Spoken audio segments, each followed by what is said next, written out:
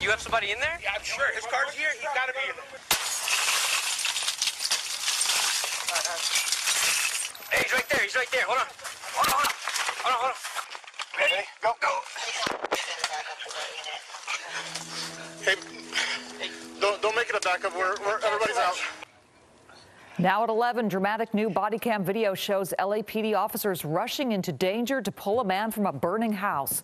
The mission area officers came across the burning home in Sylmar, learning someone was inside.